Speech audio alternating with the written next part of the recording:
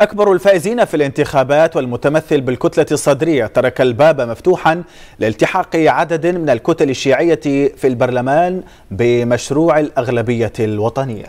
علي التحاق مشروط رغم التفاؤل بإمكانية التوصل لاتفاق على تشكيل الحكومة المقبلة. وإن رضيتم بقولي هذا فسنكون شركاء في مشروع الإصلاح. لم يغلق السيد مقتدى الصدر أبوابه أمام من يحسن الظن بهم حسب وصفه في آخر تغريدة له. بعض القوى الشيعية تبحث عن مكان لها في قاطرة الكتلة النيابية الأكبر وفق مراقبين. رجحوا التحاق بعض الأطراف السياسية بالتيار الصدري لتشكيل الحكومة المقبلة. هناك بوادر تشير إلى التحاق أربع كتل سياسية من الإطار لصالح أو للانضمام مع آه، التيار الصدري أما انضمام أو تأييد.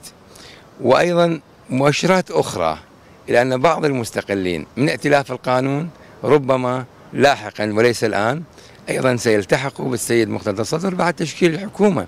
القوى الشيعية أكدت من جانبها تماسكها وعدم تشظيها وفق أعضاء فيها كشفوا عن توجههم بخطين متوازيين نحو المزيد من الحوار مع التيار الصدري من جهة وانتظار نتائج حسم المحكمة الاتحادية الطعون المقدمة بمخرجات الجلسة الأولى للبرلمان من جهة أخرى. أنا متفائل بأن القضية راح تعاد وترجع وتتم آه، الحكومة التوافقية بموافقة تقريبا على ما على أقل تقدير 170 160 150 من الشيعة وبقية من المكونين الآخرين. وبعيدا عن الكتل الكبيرة المتحالفة أو المعارضة لها فإن العديد من القوى والنواب المستقلين ممن فضلوا عدم المشاركة في الحكم قد ترجح مواقفهم كفة هذه الجهة أو تلك من خلال تصويتهم على من يرونه مناسبا. أحمد عرام العراقية الإخبارية بغداد.